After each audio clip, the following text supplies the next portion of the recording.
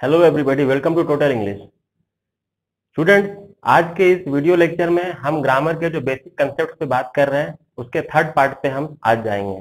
Basic concept of grammar के third part में। इस पार्ट में हम बात करने वाले हैं ग्रामर के सबसे इम्पोर्टेंट में से एक टॉपिक के बारे में, जो कि है सब्जेक्ट और प्रेडिकेट फ्रेंड्स हम जो ग्रामर पढ़ते हैं, वो सेंटेंस का निर्माण करने के लिए पढ़ते हैं। वाक्य को कैसे बनाए? सेंटेंस फॉर्मेशन किस तरह से किया जाए? और सेंटेंस का जो सबसे मेन अंग होता है, वो होता है सब्जेक्ट और प्रेडिकेट। इसलिए सब्जेक्ट और प्रेडिकेट के कंसेप्ट को समझना बहुत अधिक ज़रूरी हो जाता है। इससे हम आगे आने वाले टॉपिक्स जैसे कि फ्रेज क्लॉज वगैरह वगैरह, ये सब भी बहुत अच्छे से कमांड इससे हम पा लेते हैं। तो चलिए आइए इसे हम स्टार्ट करते हैं।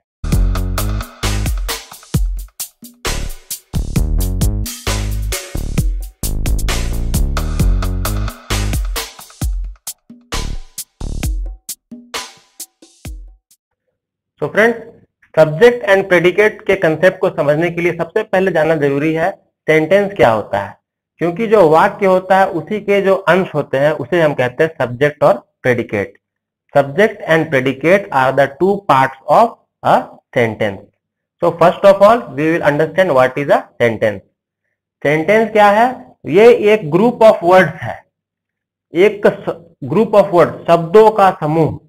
जिसे अरेंज किया गया, जिसे सजाया गया है, साथ में together to make complete sense जिसका कि कोई अर्थ बनता हो, जिसका कोई सेंस बनता हो। देखिए, हमारे पास एक ग्रुप ऑफ़ वर्ड्स है fly birds the in air ये एक ग्रुप ऑफ़ वर्ड्स है, इसे सजा दिया गया है। पर क्या इसका कोई अर्थ बन रहा है? क्या इसका कोई मीनिंग बन रहा है? Fly birds the in air बिल्कुल भी नहीं बन रहा है।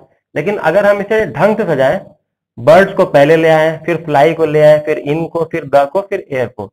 तो क्या होगा? Birds fly in the air. पक्षी आकाश में उड़ते हैं। मतलब इसका एक अर्थ निकल के आ रहा है। इसका एक कंप्लीट सेंस बन रहा है। इसलिए ये एक सेंटेंस है। लेकिन इसे हम सेंटेंस नहीं कह सकते हैं। कहने का मतलब कोई भी ग्रुप ऑफ़ वर्ड सेंटेंस नहीं होता है। उसका एक अर्थ होना चाहिए। तभी वो सेंटेंस कहलाएगा। चलिए आप सेंटेंस को समझ चुके हैं। सेंटेंस के आगे अब हम देखते हैं सब्जेक्ट और प्रेडिकेट होता क्या है। सब्जेक्ट इसके लिए हम इन दो एग्जांपल्स को देखेंगे। His father gave him a car उसके पिता ने उसे एक कार दी। तो इस सेंटेंस में हम किसके बारे में बात कर रहे हैं, ये जानते हैं? हम किसी के पिता के बारे में बात कर रहे हैं। तो जिस विषय पर हम बात कर रहे हैं, वो विषय हमारा हो जाता है सब्जेक्ट ये हमारा हो जाएगा सब्जेक्ट और उस विषय के बारे में अगर हमें कोई जानकारी दी जा रही है, या वो कौन सा कार्य कर रहा है, वो कौन सा वर्क कर रहा है तो उसे हम कहेंगे प्रेडिकेट ये हो गया सब्जेक्ट और ये हो गया प्रेडिकेट अगला एग्जांपल देखते हैं. Rohit Sharma is a wonderful batsman Rohit Sharma एक बहुत ही बढ़िया बल्लेबाज है। तो यहाँ पर इस सेंटेंस में हम बात किसकी कर रहे हैं? बल्लेबाज की बात कर रहे हैं? नहीं, हम यहाँ पर रोहित शर्मा की बात कर रहे हैं? मतलब रोहित शर्मा हो जाएगा हमारा सब्जेक्ट और रोहित शर्मा के बारे में क्या कहा जा रहा है? कहा जा रहा है कि वो एक बहुत बढ़िया बल्लेबाज है। इसलिए ये हो जाएगा प्रेडिकेट तो सब्जेक्ट और प्रेडिकेट यही होता है फ्रेंड सब्जेक्ट वो विषय होता है, वो नाम होता है या वो वस्तु होती है, जिसके बारे में हम बात कर रहे हैं। और प्रेडिकेट वो होता है सब्जेक्ट अगर कोई काम को कर रहा है, या सब्जेक्ट के बारे में कोई हमें इंफॉर्मेशन दिया जा रहा है, वो कोई काम को कर रहा है तो वो कहलाता है प्रेडिकेट अब हम बात करेंगे सब्जेक्ट और प्रेडिकेट से जुड़े हुए अन्य इसके पार्ट्स के बारे में। सब्जेक्ट के भी कुछ पार्ट्स होते हैं और प्रेडिकेट के भी कुछ पार्ट्स होते हैं। सिर्फ़ चार पाँच एग्ज़ाम्पल के थ्रू हम समझेंगे और उसके कंसेप्ट को पूरी तरह से आज क्लियर कर देंगे। हम ये जान लेते हैं कि सब्जेक्ट और प्रेडिकेट की पहचान करने का सबसे आसान तरीका कौन सा है? क्योंकि अक्सर जो क्वेश्चन पूछे जाते हैं, वो इस तरह से रहते हैं कि आपको एक सेंटेंस दिया रहेगा और आपको बताना रहेगा कि इसमें सब्जेक्ट कौन सा है और प्रेडिकेट कौन सा है। मतलब आपको आइडेंटिफाई करना है। आपको इसमें डिवाइड करना है कि that this part this particular part is subject and other particular part is predicate इसको जानने का एक बेस्ट तरीका बता रहा हूँ, इससे आपको कभी मिस्टेक नहीं होगा। सबसे पहले आपको करना क्या है? आपको प्रेडिकेट को खोजना है या फिर सब्जेक्ट को खोजना है। दोनों में से कोई एक चीज़ को खोज लीजिए तो बाकी का जो बच गया वो खुद मिल जाएगा। तो सबसे पहली बात है सब्जेक्ट सब्जेक्ट के बारे में क्या बोला गया? वो कोई विषय वस्तु है। विषय वस्तु यहाँ पर देखिए, पहला सेंटेंस में क्या है? The big hungry green crocodile drag the deer from the river bank जो बड़ा, भूखा, हरा क्रोकोडाइल है जो क्रोकोडाइल है, वो ड्रैग मतलब खींचते हुए, घसीटते हुए क्या कर रहा है? A deer from the river bank एक डियर को, एक हिरन को हिरन को लेते आ रहा है नदी के किनारे से। मतलब अब इस पूरे सेंटेंस में एक क्रोकोडाइल की बात हो रही है। क्रोकोडाइल काम करने वाला है। जो काम करने वाला था, होता है, उसे हम सब्जेक्ट कहते हैं। इसका मतलब सब्जेक्ट तो आइडेंटिफाई हो चुका है हमारा। प्रेडिकेट को आइडेंटिफाई करने का सबसे बेस्ट तरीका क्या है? सबसे बेस्ट तरीका है कि हम इसे खोजें वर्ब को। किसी सेंटेंस में वर्ब को खोजिए, क्योंकि जो प्रेडिकेट होता है, उसमें हमेशा वर्ब हमेशा मिला हुआ होता है।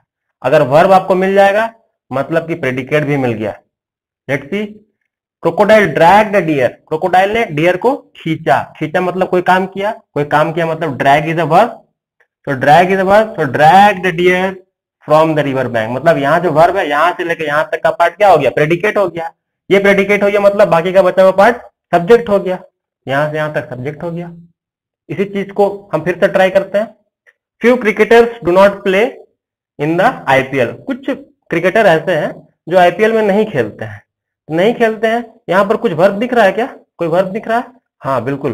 Play play is a verb play is a verb मतलब अभी हमने क्या कहा कि वर्ब अगर मिल जाए वर्ब अगर मिल जाए तो वो क्या हो जाएगा? वो प्रेडिकेट हो जाएगा। So not play in IPL क्या हो जाएगा? प्रेडिकेट हो जाएगा। और फ्यू क्रिकेटर्स फ्यू क्रिकेटर्स क्या हो जाएगा? जो बच गया वो सब्जेक्ट हो जाएगा। फिर से ट्राई करते हैं। Ravi and Nitin are good friends अब यहाँ पर कोई मेन वर्ब नहीं है। Ravi and Nitin are good friends लेकिन आज जो है वो ऑक्सिलरी वर्ब ज़रूर है। ये एक हेल्पिंग वर्ब ज़रूर है। अगर helping verb auxiliary verb modals के बारे में आपको ठीक से नहीं पता है तो आई वाले बटन पर दबा के देख सकते हैं। इस पे वीडियो एक बनाई गई है जिसपे ऑक्सिलरी वर्ब के बारे में अच्छे समझाया गया है कौन कौन से ऑक्सिलरी वर्ब्स होते हैं। तो यहाँ पर एक ऑक्सिलरी वर्ब है। तो ये वाला पार्ट वर्ब है मतलब ये वाला पार्ट हमारा प्रेडिकेट है। ये जो प्रेडिकेट है मतलब जो बाकी बच गया वो सब्जेक्ट है। फिर से ट्राई करते हैं। Naresh lives in Mumbai and speaks Marathi यहाँ पर फिर से वर्ब को खोजते हैं। Naresh lives lives verb in Mumbai and speaks speaks एक और वर्ब अच्छी बात है, दो वर्ब है, दोनों वर्ब मिल गए तो दोनों ये हो जाएगा हमारा प्रेडिकेट जो बच गया वो हो गया नरेश। तो आपने देखा कैसे हमने वर्ब को खोज के प्रेडिकेट का पता लगाया तो प्रेडिकेट जैसे मिल गया तो सब्जेक्ट भी पता चल गया सब्जेक्ट और प्रेडिकेट आइडेंटिफाई करने का इससे बेस्ट तरीका और कोई नहीं। अब हम देखेंगे कि सब्जेक्ट और प्रेडिकेट के पार्ट्स क्या है पार्ट कुछ नहीं होते, बस थोड़ा सा इसमें डिस्क्रिप्शन दिया जाता है। जैसे कि पहला सेंटेंस है the big hungry green crocodile यहाँ पर क्रोकोडाइल सिर्फ़ क्रोकोडाइल तो नहीं लिखा गया है ना? उसके बारे में कितनी अलग अलग बातें बताई गई कि क्रोकोडाइल बड़ा है, हरा है ग्रीन है? मतलब एडिशनल इंफॉर्मेशन दिया गया है। तो अगर किसी सब्जेक्ट के बारे में कुछ डिस्क्रिप्शन दिया गया हो, कुछ डिस्क्रिप्शन दिया गया हो, अगर ऐसा किया गया हो तो उसे हम कहते हैं कंप्लीट सब्जेक्ट तो मतलब ये हो जाएगा हमारा complete subject complete subject subject का एक पार्ट है. उसे हम कंप्लीट सब्जेक्ट कहते हैं. मतलब अगर सब्जेक्ट का कुछ डिस्क्रिप्शन दिया गया हो, जैसे कि यहाँ पर फ्यू फ्यू क्रिकेटर्स कुछ क्रिकेटर्स की बात हो रही है. एक क्रिकेटर नहीं बोला गया है ऑल क्रिकेटर्स नहीं बोला गया है. कुछ क्रिकेटर सिर्फ़ है जो आईपीएल नहीं खेलते हैं. मतलब कुछ क्रिकेटर यहाँ स्पेसिफाई किया गया मतलब दिस इज़ द डिस्क्रिप्शन ये इसका विवरण है. यहाँ पर क्रोकोडाइल का विवरण था कि वो बड़ा है, हरा है ग्रीन है. और हंगरी है। और यहाँ पर क्रिकेटर्स की बात की गई है। क्रिकेटर्स कुछ है तो this is also the description तो ये कौन सा, ये कौन सा सब्जेक्ट हो जाएगा? ये हो जाएगा हमारा कंप्लीट सब्जेक्ट ये हो जाएगा कंप्लीट सब्जेक्ट और ये भी हो जाएगा कंप्लीट सब्जेक्ट कंप्लीट प्रेडिकेट क्या होता है? प्रेडिकेट के बारे में अगर कोई जानकारी दी जाए प्रेडिकेट क्या था यहाँ पे? Deer drag the deer from the river bank तो डियर को क्या किया? खींचते हुए रिवर बैंक तक ले आया। मतलब उसके बारे में भी इंफॉर्मेशन दिया गया एडिशनल इंफॉर्मेशन डिस्क्रिप्शन दिया गया है। तो this is this will become complete predicate अब देखते हैं और एक सब्जेक्ट और प्रेडिकेट का दूसरा part Ravi and Nitin are good friends यहाँ पर हम क्या, एक जन की बात कर रहे हैं, क्या रवि की बात कर रहे हैं या सिर्फ़ नितिन की बात कर रहे हैं? यहाँ पर तो रवि और नितिन दोनों की बात कर रहे हैं। तो रवि भी सब्जेक्ट है, नितिन भी सब्जेक्ट है। तो ये कैसे हो गया? दो सब्जेक्ट हो गए। हाँ एक सेंटेंस में दो भी हो सकते हैं, दो से ज़्यादा भी हो सकते हैं, तीन भी हो सकते हैं। तो Ravi and Nitin it means we have two subject तो अगर दो सब्जेक्ट मिल जाए, जिसे कि कोई कंजंक्शन से जोड़ा गया हो तो उस टाइप के सब्जेक्ट को हम कहते हैं कंपाउंड सब्जेक्ट ये हो गया कंपाउंड कंपाउंड सब्जेक्ट जो कंपाउंड वर्ड होता है ना कंपाउंड का मतलब ये होता है दो या दो से अधिक चीज़ों से जो मिलकर बनता है उसे हम कंपाउंड कहते हैं। तो this is compound subject are good friends this is the predicate अब देखते हैं कंपाउंड प्रेडिकेट क्या होता है। Compound predicate Naresh lives in Mumbai and speaks Marathi यहाँ पर देखिए, एक काम हो रहा है कि वो मुंबई में रहता है। दूसरा काम हो रहा है, वो मराठी बोलता है। मतलब यहाँ पे एक वर्ब है, यहाँ पर दो वर्ब है। जैसे यहाँ पर दो सब्जेक्ट मिल गए थे, वैसे यहाँ पर दो वर्ब मिल गए। तो अगर दो या दो से ज़्यादा वर्ब एक जगह मिल जाए किसी प्रेडिकेट में, समझ जाइए और वो किसी कंजंक्शन से जुड़े हुए हो, जैसे यहाँ पे कंजंक्शन से ये जुड़ा हुआ था कंजंक्शन मतलब कि एंड बट और एज वेल एज ये सब कंजंक्शन होते हैं। कंजंक्शन पे एक सेपरेट वीडियो बनाई गई है, उसे आप देख सकते समझ सकते हैं। तो ऐसे वाले पार्ट ऑफ़ सेंटेंस को हम क्या कहेंगे?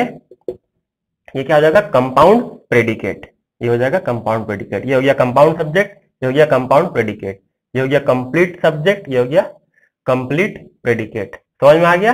कंपाउंड कंप्लीट सब्जेक्ट क्या होता है? कंपाउंड सब्जेक्ट क्या होता है? और कंप्लीट प्रेडिकेट क्या होता है? और कंपाउंड प्रेडिकेट क्या होता है? ये आखिरी सेंटेंस है, ये आपके लिए है, इसे आपको करना है। सेंटेंस को पढ़ दे रहा हूँ। The lazy old man ran very fast आपको बताना है कि ये क्या कोई कंपाउंड सब्जेक्ट है? या कोई कंपाउंड वर्ब है? प्रेडिकेट है? चलिए देखते हैं। The lazy old man ran very fast किसकी बात हो रही है यहाँ पर? सोचिए। मैन की बात हो रही है? इंसान की बात हो रही है? मैन है। चलिए मैन मिल गया। सबसे पहले तो हम आइडेंटिफाई करते हैं कि इसमें सब्जेक्ट कौन है प्रेडिकेट कौन है। तो सबसे पहले मैंने क्या बोला था? वर्ब को खोजते हैं। वर्ब कहाँ दिख रहा है भाई? तो रैन वर्ब है।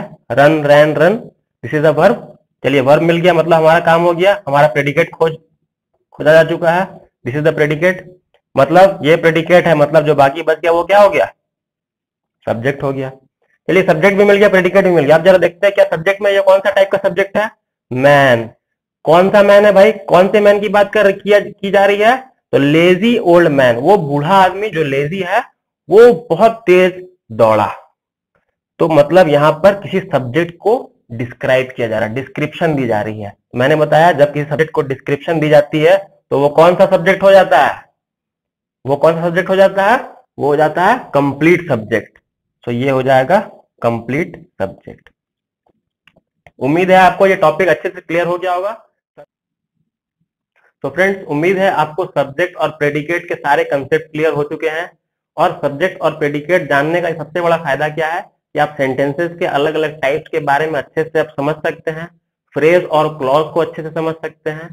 तो अगर आपको ये वीडियो अच्छा लगा हो तो इस वीडियो को लाइक करें कमेंट्स में बताएँ कि हमें आप और कौन कौन से टॉपिक्स पे जानना चाहते हैं ग्रामर और इस चैनल को ज़रूर से ज़रूर सब्सक्राइब करें और अपने फ्रेंड्स में शेयर करें ताकि लोग जाने और इस नॉलेज को सब कोई बांटे। Thank you so much